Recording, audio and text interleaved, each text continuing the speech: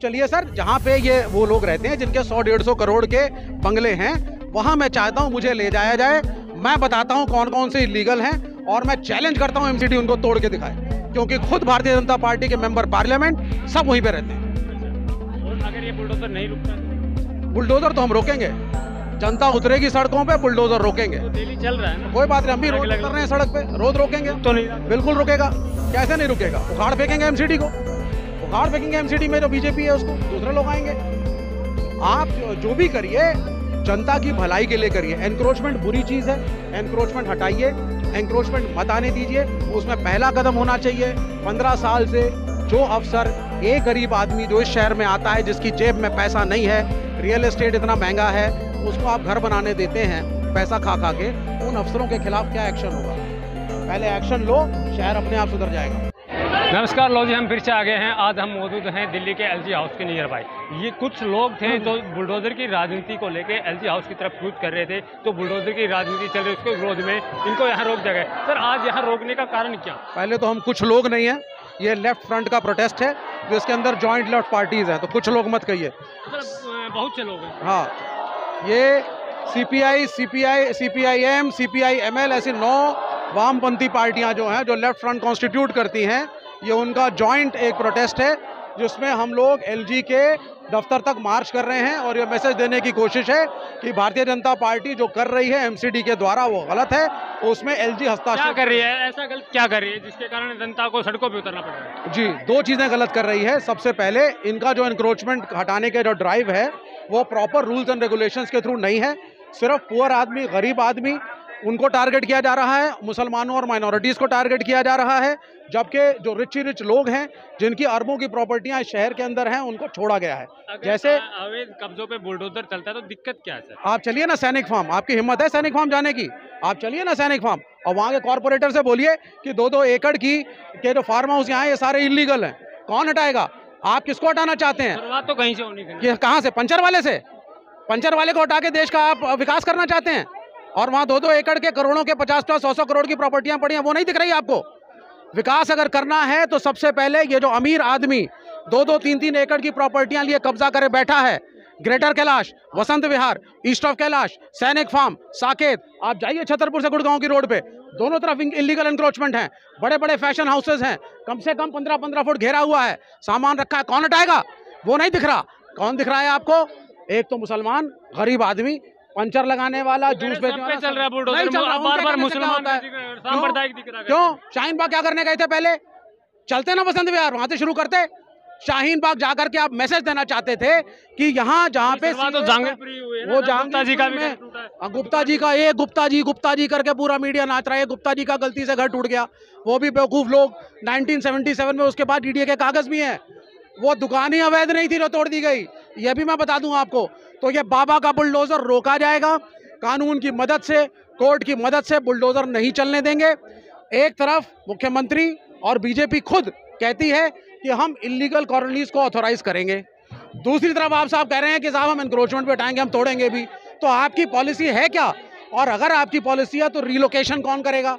जब आप किसी को तोड़ते हैं हटाते हैं झुग्गी भी हटाते हैं तो रिलोकेट भी तो करेंगे ना आप किसी को। पंद्रह साल से बीस साल तक एमसीडी पंद्रह साल से कानून यहाँ पे शास पंद्रह साल तक आपके जो भ्रष्ट काउंसलर कॉरपोरेटर अफसर थे जिन्होंने ये ये इंक्रोचमेंट होने दी पैसे खाए क्या उनके खिलाफ एक्शन कब्जा हटाना गलत है। बिल्कुल सही है। आप कानून के तहत हटाइए।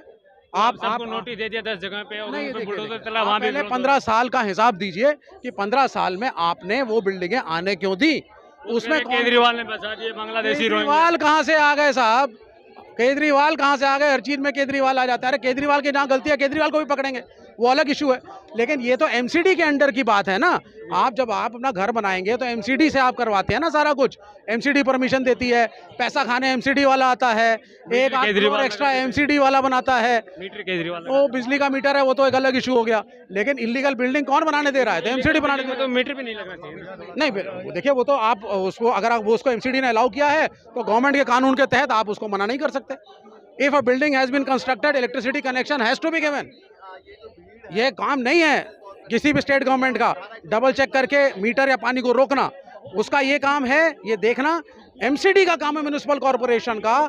इन चीज़ों को ना आने से रोकना ये महाभ्रष्ट है। शाहीन बाग में बुलडोजर गया लेकिन वहाँ बुलडोजर चल नहीं पाया जो भी कारण रहा हो। उसके बाद आदेश गुप्ता जी ने एक लेटर जारी करके कहा है कि कांग्रेस के कुछ नेता और कुछ लोकल पार्षद और विधायक जो। हैं वो इसमें खलल डाले उन पर एफ़ दर्ज होनी चाहिए। नहीं नहीं एफ़ आई आर क्या दर्ज होनी चाहिए? जब ये वहाँ पहुँचे हैं तो उसके दो तीन दिन पहले से ही सभी पॉलिटिकल पार्टीज़ वालों ने लोगों को बोला कि अगर आप लोगों का कोई अवैध चीज़ है बाहर तो अंदर कर लो। वहाँ कुछ था ही नहीं। अरे पंचर वाले ने यहाँ तक दुकान करी है तीन फुट के आगे कुछ सामान पड़ा उसने अंदर कर लिया। तो जब पहुँचे बुलडोजर तो कुछ था ही नहीं। तो ये इनका ये गेम प्लान था कि देश में मैसेज देंगे कि देखो सीए वहाँ से शुरू हुआ हमारे बुलडोजरों ने तोड़ दिया। लेकिन ऐसा हो नहीं पाया क्योंकि लोगों ने वहाँ पे गैर कानूनी तरीके से अतिक्रमण नहीं करा है। सीए की बात आ गई तो अमित शाह जी का बयान आया है कि जैसे ही कोरोना खत्म होगा सी एनआरसी दोबारा आए कोई बात नहीं वो फिर से उसको लाए हम फिर से प्रोटेस्ट करेंगे।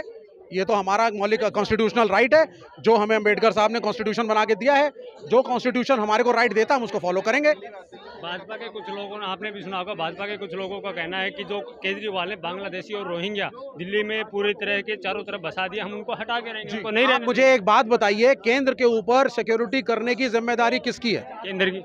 केंद्र की है। सिक्योरिटी फोर्सेस किसको रिपोर्ट करते हैं? केंद्र को। इस शहर के अंदर इस देश के अंदर चाहे बॉलीवुड हो पुणे हो बेंगलोर हो ड्रग्स कहाँ से आते हैं? बॉर्डर से उड़ के आ जाते हैं? या वो आ जा भाई तीस हज़ार करोड़ के ड्रग्स या तीन हज़ार करोड़ के ड्रग्स तो अडानी साहब के कंटेनर में पकड़े गए। शाहीन बाग में नहीं शाहीन बाग में तो पकड़ा गया। आया कहाँ से मैं पूछ रहा हूँ आपसे? बॉर्डर से ड्रग्स अंदर आ कैसे रहे हैं आप? मुझे बताइए पहले इसका उत्तर है नार्कोटिक्स कंट्रोल ब्यूरो कर क्या रही है? इसका मतलब केंद्र सरकार ड्रग माफिया मनी में मिली हुई है। अवैध कब्जों पे अगर बुलडोजर चल रहा है तो आप लोग सांप्रदायिक माहौल क्यों पैदा कर रहे हैं? हम सांप्रदायिक माहौल भाई आप शाहीन बाग से ना शुरू करिए ना। मैं चाहता हूँ सैनिक फार्म टूटे इलीगल है। मुझे कब लेकर चल? रहे हैं? अगर साइन बाग से शुरू होता तो दिक्कत बाग तो शुरू तो हो गया तो कुछ मिला ही नहीं आपको। दिक्कत क्या अगर वहाँ से कहीं से शुरुआत नहीं नहीं हम सैनिक फार्म से शुरू करेंगे उसमें क्या दिक्कत है? अगर वहाँ से शुरुआत होती तो दिक्कत नहीं तो वहाँ तो पहुँचे तो थे फेल हो गए। फेल हो जगह अगले दिन अलग जगह पे तो चल गए। नहीं नहीं आप चलिए सर जहाँ पे ये वो लोग रहते हैं जिनके सौ डेढ़ सौ करोड़ के बंगले हैं वहाँ मैं चाहता हूँ मुझे ले जाया जाए। मैं बताता हूँ कौन कौन से इलीगल हैं और मैं चैलेंज करता हूँ एमसीडी उनको तोड़ के दिखाए क्योंकि खुद भारतीय जनता पार्टी के मेंबर पार्लियामेंट सब वहीं पे रहते हैं। अगर ये बुलडोजर नहीं रुकता है तो? बुलडोजर तो हम रोकेंगे। जनता उतरेगी सड़कों पे बुलडोजर रोकेंगे। तो डेली चल रहा है ना? कोई बात नहीं हम भी रोज उतर रहे हैं सड़क पे रोज रोकेंगे। तो नहीं बिल्कुल रुकेगा। कैसे नहीं रुकेगा? उखाड़ फेंकेंगे एमसीडी को। उखाड़ फेंकेंगे एमसीडी में जो बीजेपी है उसको। दूसरे लोग आएँगे। आप जो, जो भी करिए जनता की भलाई के लिए करिए। एनक्रोचमेंट बुरी चीज़ है। एनक्रोचमेंट हटाइए। एनक्रोचमेंट मत आने दीजिए। उसमें पहला कदम होना चाहिए। पंद्रह साल से जो अफसर, एक गरीब आदमी जो इस शहर में आता है, जिसकी जेब में पैसा नहीं है, रियल इस्टेट इतना महँगा है, उसको आप घर बनाने देते हैं, पैसा खा खा के, उन अफसरों के खिलाफ क्या एक्शन होगा? पहले एक्शन लो, शहर अपने आप सुधर जाएगा। तो तमाम लोग हैं, साफ़ तौर पे कहना होगा कि तो बुलडोज़र की जो राजनीति है, ये एक सांप्रदायिक माहौल क्रिएट करने के लिए की जा रही है। अगर बुलडोज़र चलाना है तो गरीब पेंचर वालों पे नए चला के जो ये बड़े बड़े कंस्ट्रक्शन साइडें हैं, जहाँ कई वर्ग फीट में बुलडोज़र अतिक्रमण कर रखे हैं, अगर भाजपा या दिल्ली एमसीडी में हिम्मत है तो उन पर बुलडोज़र चला के दिखाए। वीडियो पसंद आई हो तो वीडियो को लाइक करें, चैनल को सब्सक्राइब करें, सब्सक्राइब बटन के साथ लगे नोटिफिकेशन बेल आइकन को भी दबा दें ताकि आप हमारी हर वीडियो से अपडेट रह सकें।